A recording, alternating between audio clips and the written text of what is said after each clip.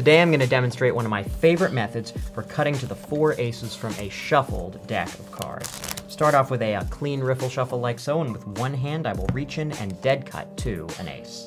Let's try it again. I'll start off with a strip cut this time and another clean riffle shuffle, and with just one hand I will dead cut to another ace, the ace of clubs.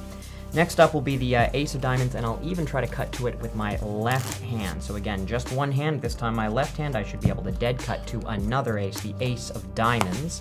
This means there's just one ace remaining in the deck, the uh, Ace of Spades, and I'll try to find it with just one finger. That should be the Ace of Spades. And if you want to see me perform live in New York City, you can buy tickets to my show on my website. Link is in the bio.